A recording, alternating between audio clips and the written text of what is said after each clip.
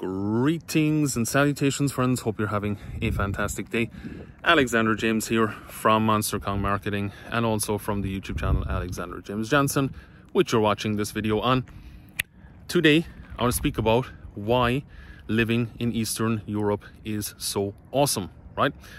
I have been living on and off in Eastern Europe for the last, I want to say, 12 years, right? And I don't want to go back. I don't want to go back. I ain't going back. I ain't going back, you know?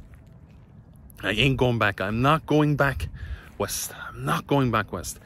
I take little times where I dip in and out of um, the west, let's say. And even to say that, some people are going to be like, what are you talking about? What are you talking about? East, west.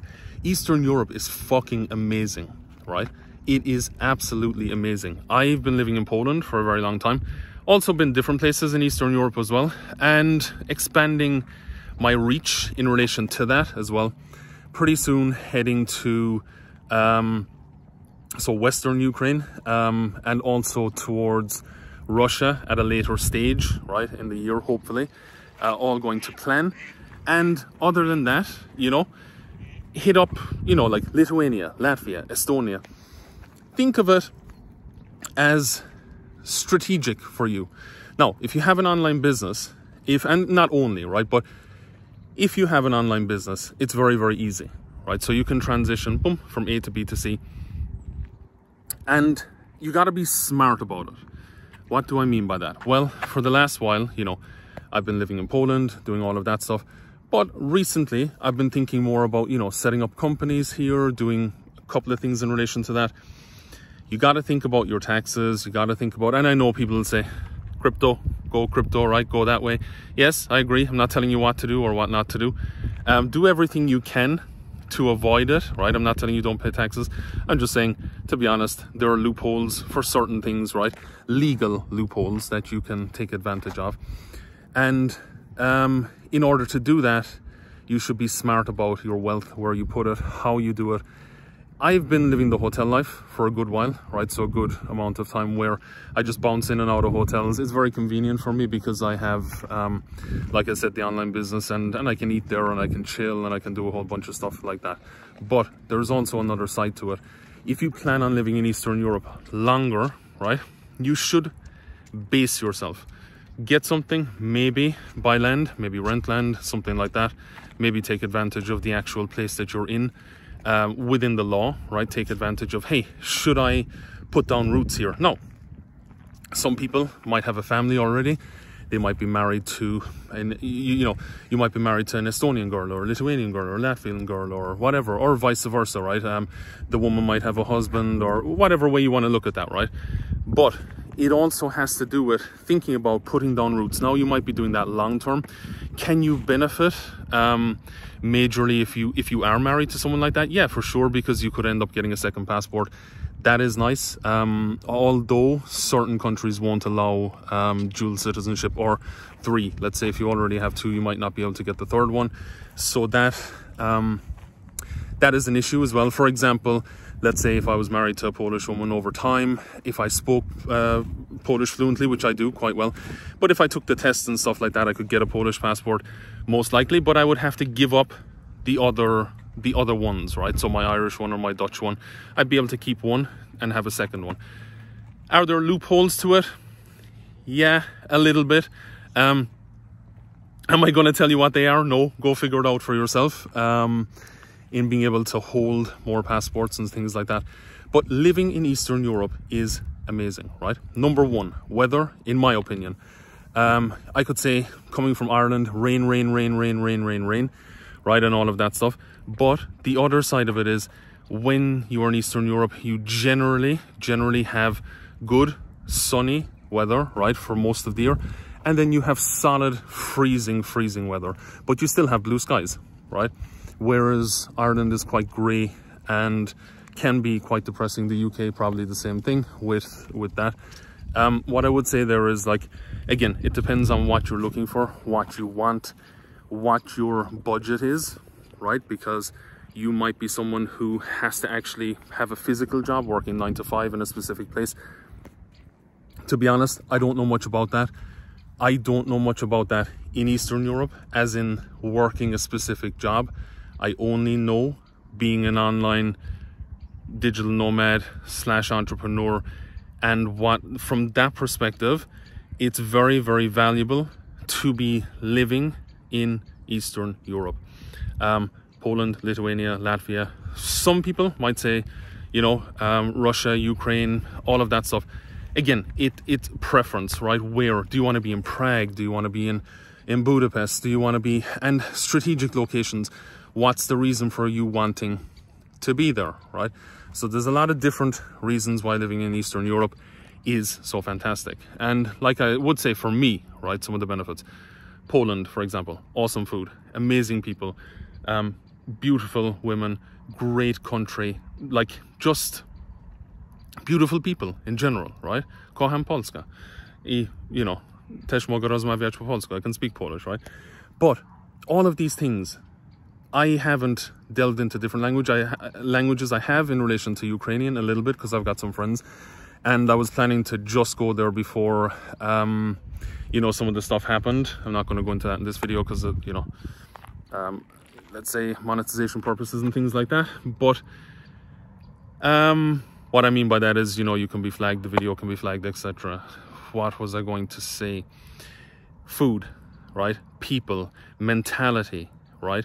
Um, family orientated, very family orientated.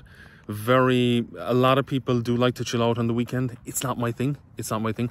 I like watching it, but I like grinding and doing different stuff like that. So in my, in my, in my opinion, people who are chilling all weekend are weekend, right? That's why the English word for weekend actually technically uh, means to be weakened, right? To be weak from the week so that you're um, to be weak from the week so that you're weakened by the weekend. so you can earn a living. Do you know what earn means? Earn. Earn is a pot that they put dead people in, right? They cremate them and they put them in an urn. So you're earning a living all week. So you're weakened by the weekend. Anyway, we're not going into that in this video. We're not going into that in this video. Although there will be different videos where I speak about that living in Eastern Europe is fantastic. The food is amazing. The people are amazing. The places, the architecture, in my opinion, right? The architecture and just the open-mindedness, right? The open-mindedness. If you're willing enough, and this is any country, if you learn the language and you integrate, which you should, don't walk around speaking English for, you know, I'm gonna do my accents. Excuse me, where is this? Where's that? That's fine for a period of time, right? All right, mate, do you know where the shop is? That's fine for a period of time. But you got to get into learning the language. Learn it. Study it. If you need to go to school, go to school. Integrate. And don't allow yourself to speak English, right? For a period of time, unless you're, unless you can't speak a word of the language, um, that's fine starting out, but then integrate. So living in Eastern Europe is fantastic the people are amazing. Dzień dobry um, and and basically you know that's pretty much it. So that's kind of like a rant about living in eastern europe. Um, again people are awesome. Food is awesome. Wages and things like that. Yes you will run into issues if you're um, what would i say? If you're not doing the online stuff, it's a little harder. Is it impossible? No, there are very good opportunities to be had also in real estate, also in setting up companies, building companies, maintaining companies. Another thing I'm going to mention is the talent in Eastern Europe is absolutely phenomenal, right? And you might say, talent? You mean the looking, you know, talent out there? Like, you know, beauty? Yes, that, the talent. But also um, the actual talent for people who've gone to school studied have you know phenomenal degrees in coding and business and all these different things and they're really really good right? So you can actually build companies out of poland um, build companies in eastern europe and do that and actually hire the people and the staff from there right? Now if you don't want to go down that route there are different routes as well. One of the routes would be to um, hire them as freelancers right? So you're still paying in their currency. So whether that's in polish zloty or whether that's in you know what they pay in the Ukraine. I don't actually know what um, what currency they use there, but basically what I would say in relation to that is like yeah, freelancers as well can really, really help. Uh, what else? You could hire a team leader in that language. Um, again, you want to know your business inside out, upside down, back to front if you're doing that. But you want to be building teams and building your network. Is there anything else I could give you in relation to, you know, Eastern Europe? What I would say is that um, building up a network before you go to a country, and that's any country, is very, very important. Like I said, integrating um, and building that network and becoming friends with people and meeting people and interacting with them personally, not just online, right? Because, yeah, you can be an online digital nomad and that's fine, that's fantastic. But you're missing one part of it, which is that in, um, like I said, Eastern Europe, very family orientated, very, very important. Um, also, they pride themselves on, you know, physically meeting, right? So actually getting to know one another. You come to the barbecue, you're, you know, you're chilling, all of that stuff, and you're actually integrating, right? Having a couple of vodkas, you're having some some pibos, you know, you're you're having a barbecue, things like that. Again, that's going to be all over Eastern Europe because a lot of it is the same mentality. Not everything, but a lot of it is the same mentality. So the question is, to recap, should you live in Eastern Europe? In my opinion, it's phenomenal. It's so beautiful. Uh, infrastructure is great in most places. Um, and yeah, you know, like family orientation or, um, you know, what I say? That's my train of thought. Um, the family mentality, right? And the niceness and the kindness and overall just the beauty, right? For me, it's also like the countryside driving through Poland, driving through, um, let's say, Hungary, dri- driving through any of these countries. Beautiful, beautiful, beautiful countryside. Do they all look the same? No, but similar? Yes. Similar mentality? In some way, yes. Uh, does that have to do with the transition out of um, when it was Russia and stuff like that? Uh, people will say, don't call it Russia. I never do, right? But I'm saying when it was that kind of occupied by, let's say, um, Russian people and stuff like that, or the Russian Federation, whatever you want to call it. There are some things that, that remain, right? Some, not many, uh, which is a good thing in my opinion. Um, but some some of the things are nice and some of the things are not, right? And and so that's debatable again, entirely up to yourself to um, draw your own conclusion from that. But again, you know, what would I say about living in Eastern Europe? Fantastic, phenomenal weather, phenomenal people, phenomenal food, great opportunities. You know um, real estate will be another one. If you can get into real estate try. Um, set up be clever. Maybe it's like a tiny home you set up. Land land particularly in poland is is not so hard to buy as as someone from outside. Um, farmland is a completely different story. You know you you you have to be a farmer. Are there ways around that and to become a farmer? Yes. Um, would i say you should do that my opinion after being here for many years no you shouldn't unless you're going to contribute agriculturally to the country, right? So don't be a fucking dick and come in and try and like get a farmer's license and buy a whole bunch of land and fuck off, right? That's not that's not what that's for, and I'm very passionate about that. um, don't go do that. Don't be that person, right? If you're going to do it and you want to get a farm license and you can and you're able to do that, if you can do it, contribute to the country, right? Live here. Let's say if it's in Poland, live in Poland contribute be somebody who gives back and not somebody who takes right? And don't don't just come in get something and then fuck off out of a country right? You shouldn't do that. You should do that in no country. You should be looking to um, like anything in life you should be looking to contribute. What can i give right? Not what can i take take take no what can i give? What can i give? What can i give go out meet people talk to people be kind um, network, build your network in all of Eastern Europe so you can bounce from A to B to C and create that because you never know when you're going to need that, right? You never know when you're going to need that. For me, uh, Poland in particularly is in my heart. Um, I've lived here for many, many years on and off. I love the country, you know, I love the language, I love the people, and Eastern Europe in general, for me, fantastic. You could say, yeah, I'm going to go to Spain, I'm going to build this, I'm going to do that. Yeah, there's one thing if there's only one thing that I could say negative in general in Eastern Europe, not everywhere, air quality in the winter time can be um, a little bit problematic.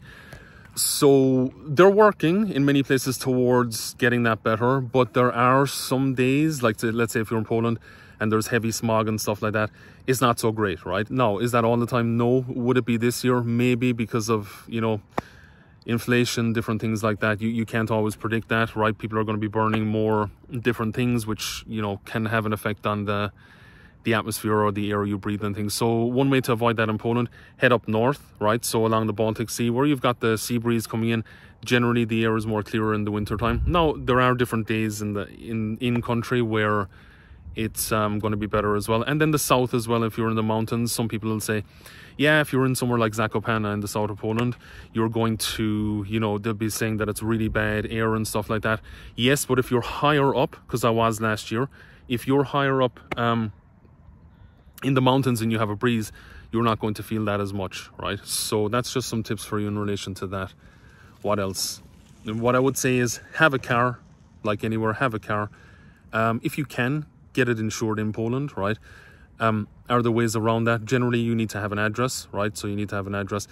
Um, in Eastern Europe, if you're living in a different country, I would say try and attain a license there as well. Try and try and get yourself set up to the level that you can have a base there, build that, use it as a base. You can still live in different parts of the world, but have a base there and maybe rent out um, the location that you're staying in when you're not there, right? So to create a passive income. So what else could I give you? Uh, what else? What else? Really, that's pretty much it. There's probably a lot of stuff I haven't touched on this in relation to Eastern Europe, but so you know, Ukraine, um, Russia, Estonia, Latvia, Lithuania, Poland, um, all good places hungary you know and you can go you can go different. You can go to like you could say like the Bal balkans or whatever. Like i mean you know bosnia different places like that. I haven't actually traveled down there yet. I haven't seen like bosnia. I've been to croatia. I haven't seen yugoslavia you know um, bulgaria which which i'd like to visit. Romania is one where my friend is actually going to base himself out of as well. So it really depends. Is eastern europe the place for you? Well is living in Eastern Europe good? Well, all of these things depend on you. You might be a home bird and say that Ireland is my country. You might say, I'm never leaving the Netherlands. You might say, I'm never leaving Germany. But why not venture out? Churches, architecture, like I said, beautiful people, beautiful places, beautiful things. Living in Eastern Europe is fantastic. That is my video on Eastern Europe. And um, Hope you're having a fantastic day. Greetings and salutations. Peace, love, and light. Chat soon.